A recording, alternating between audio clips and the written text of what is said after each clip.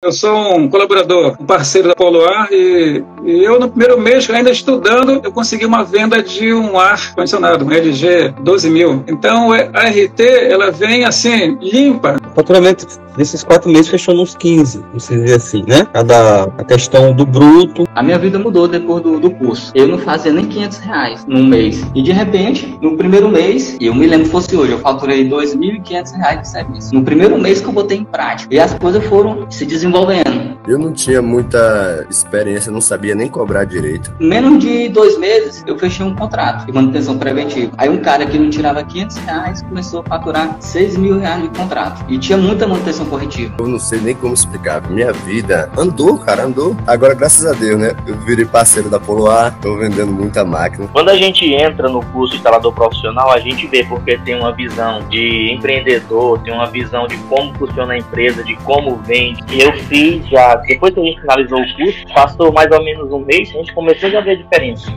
Eu fiz já duas infraestruturas, peguei dois serviços grandes. Cara, eu acredito que do mês passado pra cá, eu acredito que eu fiz, e não fiz 20 mil reais, eu fiz quase 20 mil reais.